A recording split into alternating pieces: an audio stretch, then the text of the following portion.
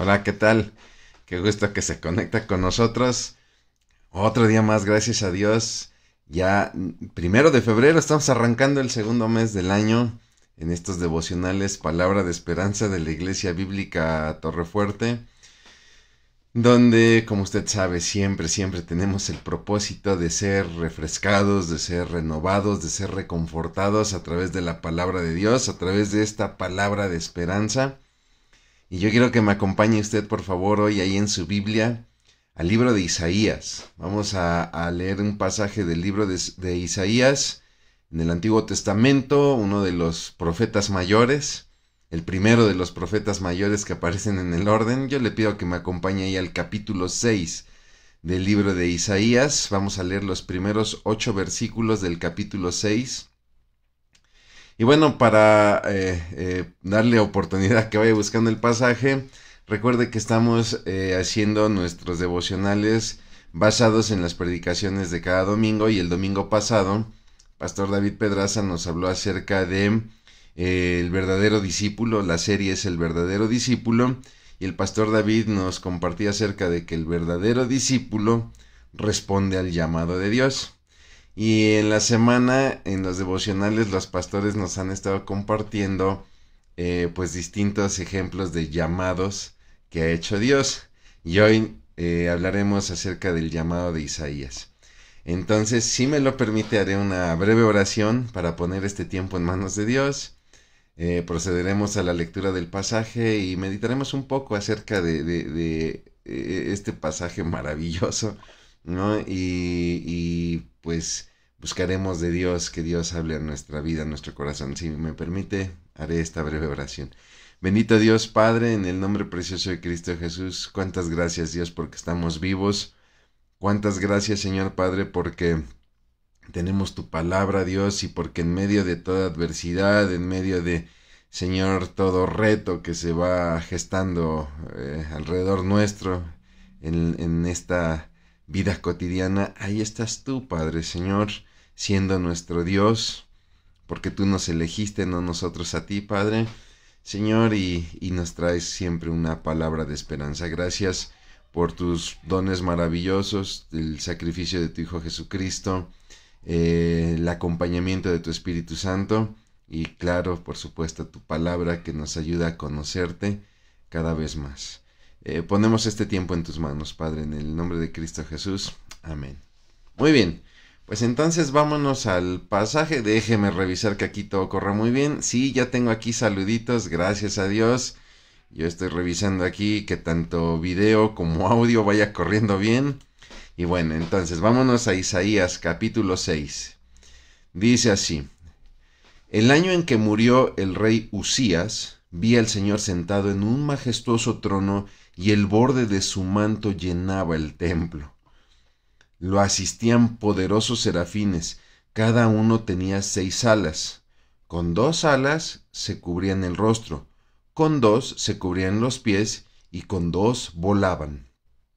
Se decían unos a otros, Santo, Santo, Santo es el Señor de los ejércitos celestiales, toda la tierra está llena de su gloria. Sus voces sacudían el templo hasta los cimientos y todo el edificio estaba lleno de humo. Entonces dije, todo se ha acabado para mí, estoy condenado porque soy un pecador tengo labios impuros y vivo en medio de un pueblo de labios impuros. Sin embargo, he visto al Rey, el Señor de los ejércitos celestiales. Entonces uno de los serafines voló hacia mí con un carbón encendido que había tomado del altar con unas tenazas. Con él tocó mis labios y dijo, ¿ves? Este carbón te ha tocado los labios. Ahora tu culpa ha sido quitada y tus pecados perdonados. Después oí que el Señor preguntaba, ¿A quién enviaré como mensajero a este pueblo? ¿Quién irá por nosotros? Aquí estoy yo, le dije, envíame a mí. Ok, es un pasaje hermoso, la verdad es que es un pasaje impactante. Si tratamos de ponernos en los zapatos de Isaías y tratamos de, ver lo que él vio, vaya que si no es impactante. El pasaje comienza a narrar acerca de el tiempo el año en que murió Usías. Usías fue un rey de Judá. Estamos hablando del tiempo de los reyes, lo que conocemos como el reino dividido. Israel se ha dividido, el reino del norte, propiamente Israel, con su capital en Samaria, el reino del sur, Judá con su capital en Jerusalén. Ahí en el reino del sur, Isaías es coronado rey de Judá a muy temprana edad, muy joven, a los 16 años.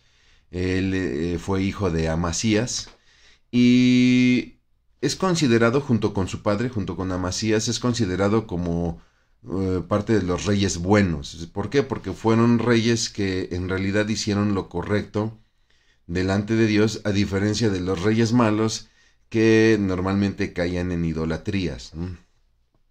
Pero este, este rey Usías eh, reinó prácticamente 52 años, nos dice ahí el libro de, crónicas. Y aunque es cierto, prosperó, un rey prosperado por parte de Dios, el cierre de su vida es triste.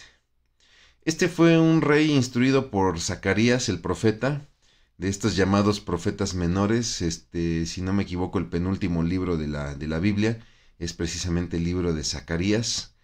Este Zacarías va a instruir a Usías en, los caminos de Dios, en el temor de Dios, eh, y es de esta manera que Dios prospera a Usías y Usías va a reconstruir muchas ciudades, va a fortalecer el ejército, el ejército de Judá. Pero como le decía, lamentablemente, eh, este poder que alcanza Usías le va a rebasar y entonces va a generar en su corazón orgullo, la, importancia de saber manejar el poder. Tener siempre presente que todo viene de Dios. Cuando usted y yo tenemos presente que lo que tenemos viene de Dios, difícilmente nuestro corazón va a ser presa del orgullo. Pero no fue así con Usías y lamentablemente se pierde, se pierde en el poder y comete un acto terrible, porque Dentro de su orgullo, él toma la decisión simplemente de entrar al templo, entrar al, lugar santo que solamente estaba destinado para los sacerdotes y se atreve a quemar incienso en el altar del incienso.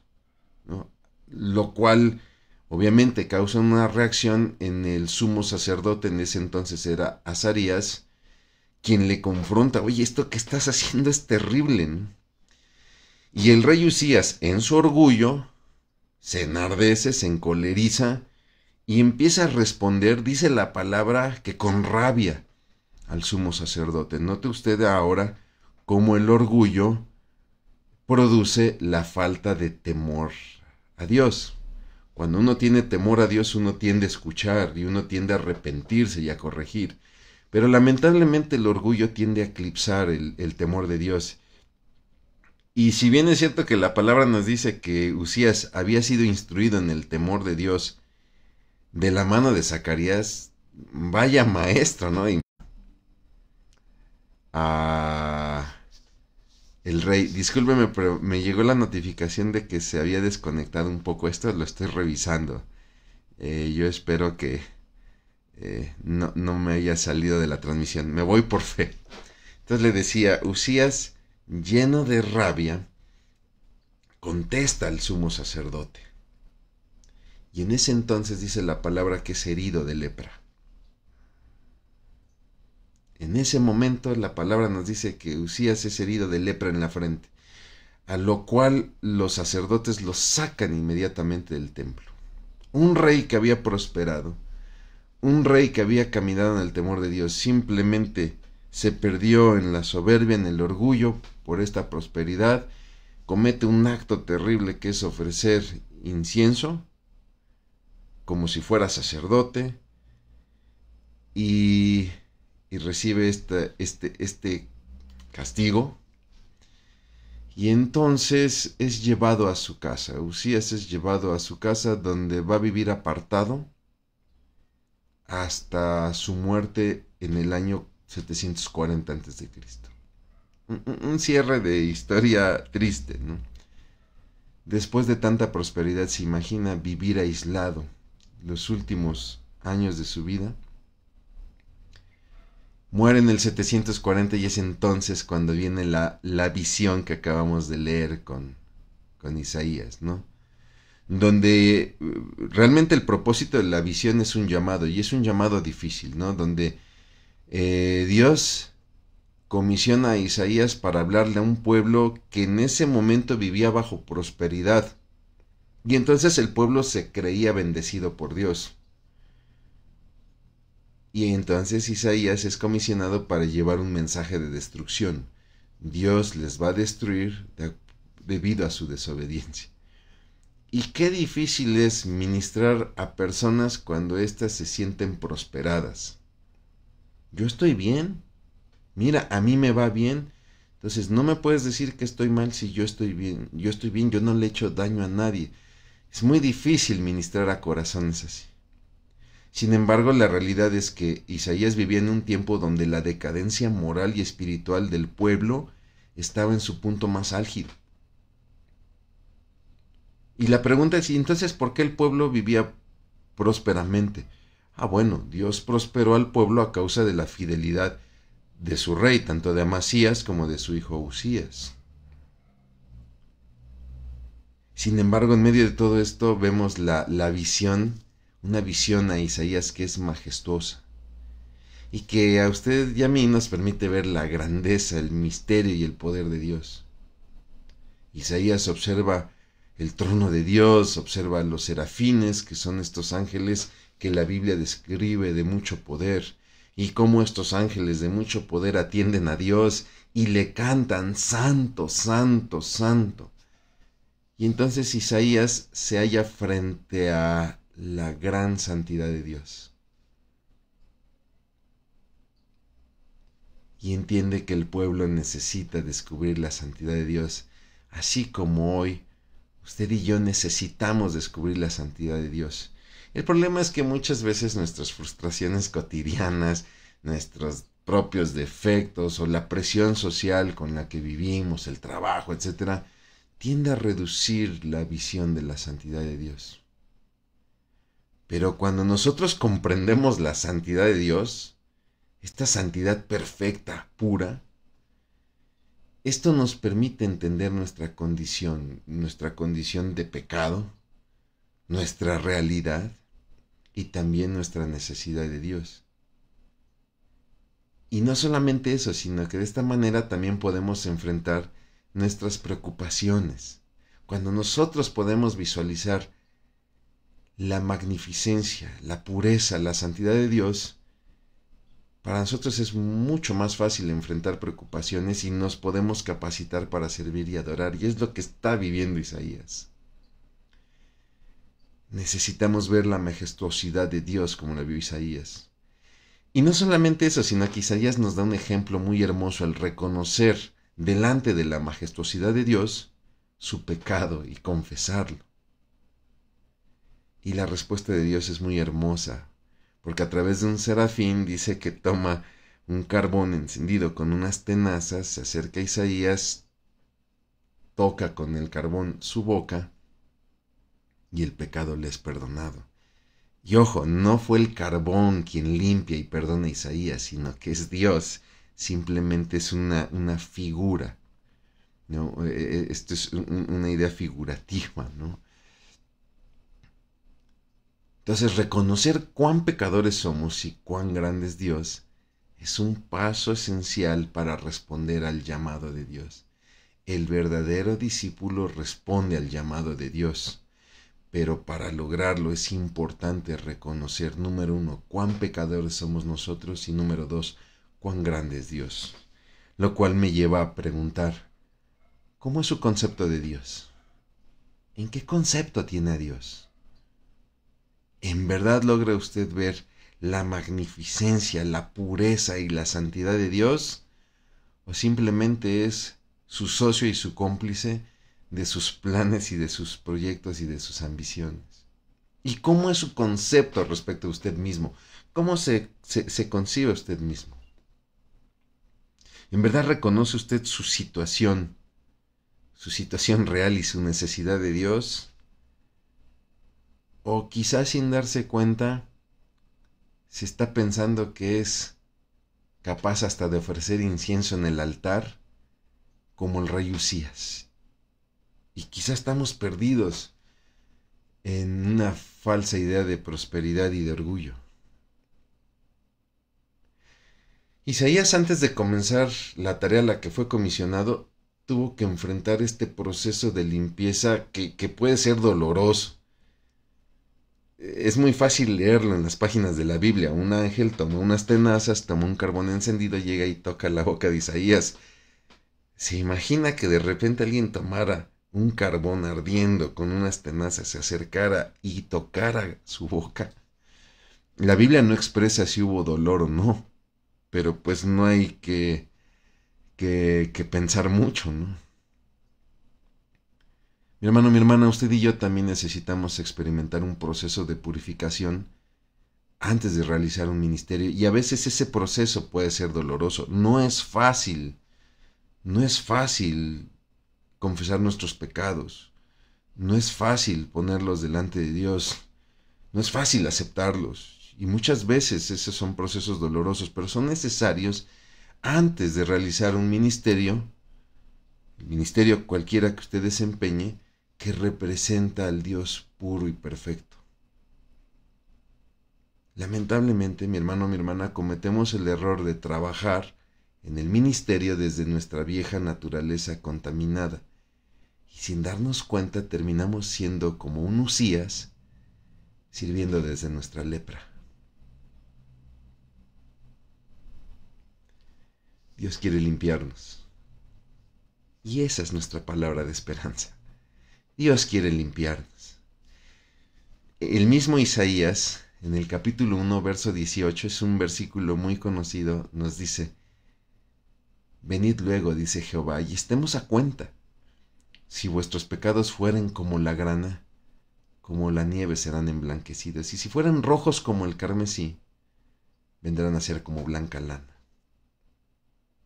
Qué importante es buscar este proceso de pureza para responder a este llamado. Vamos a orar. Bendito Dios Padre, en el nombre precioso de Cristo Jesús, mi Señor. Te damos muchas gracias, Padre, por cuanto eres bueno. Gracias, Dios, porque tú tienes un llamado para cada uno de nosotros, Señor.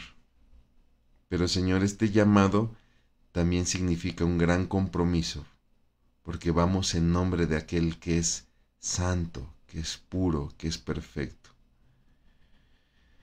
Señor, y ante eso no podemos hacerlo desde nuestra naturaleza, desde nuestra carnalidad, mi Dios. Pero tampoco podemos limpiarnos a nosotros mismos. Tu misma palabra lo dice, ¿quién puede decir, estoy limpio, he limpiado mi corazón? Esto solamente es posible a través de ti, a través de tu Hijo Jesucristo, a través de tu palabra, la cual nos encantaría saludarle Recuerde que si no nos puede acompañar en nuestros, en nuestros servicios presenciales, pues tenemos la, lo que sería la, la, transmisión del servicio de las 12 del día. Creo que son todos los anuncios que tenemos. La oración de varones 8 de la mañana. Hoy reunión de Celebremos la Recuperación a las 7 de la noche y nuestros servicios dominicales. Recuerde que otros ministerios pues ya caminan por sí solitos. La Escuela de Desarrollo Cristiano, OANSA, etcétera. Y bueno, para finalizar este accidentado devocional, usted disculpe, parece ser que hay problemas aquí con internet. Quiero devolver la cortesía de los saludos. Eh, para mi hermana Irma Argüelles, buen día. Eh, María, Sara, María Sara González Tavilla, buen día. Ruti Castro. Lidia Laguna, que manda bendiciones. Silvia Mancilla. Vicky Ruggerio. Mi hermanita Leo Patiño. Es una bendición siempre los, eh, encontrarnos con personas fieles, eh, no a uno, no es nada delante del Señor, fieles a, a, la palabra de Dios y a los devocionales, Caro Jiménez, Carlos Ramos de Jesús, feliz inicio de mes, igualmente mi hermano Marilda Maldonado. Muchas gracias por sus deseos, hermanita. Un abrazo igualmente. Alfredo Hernández, que manda bendiciones. Leticia Coayagüitl dice, buen día, alabado sea el Señor Dios. Amén, así es. Dentro de toda su magnificencia, Dios sea alabado. Y la bandera que manda saludos y bendiciones. Rod Martínez, muy buenos días. Gracias por la palabra compartida. Gracias a Dios por su palabra. Mi amiga Raquel, qué gusto saludarte, amiga. Un abrazo igualmente. Alicia López, buenos días. Tengo aquí Canela Pérez, bendiciones a toda la familia Torrefuerte. Mi hermanita Mine Quiterio, qué gusto saludarle, hermana. Un abrazo, un saludo a Carlos, por favor. Tengo también a Carlos eh, Ramos de Jesús, muchas gracias por el mensaje. De... Gracias a Dios, gracias a Dios por su palabra. Y mi hermano, no me canso de pedírselo, por favor. No se desconecte de Dios, no se desconecte de su palabra, no se desconecte de la oración y no se desconecte de la iglesia bíblica Torrefuerte, su iglesia en la cual estamos para servirle. Que Dios le bendiga.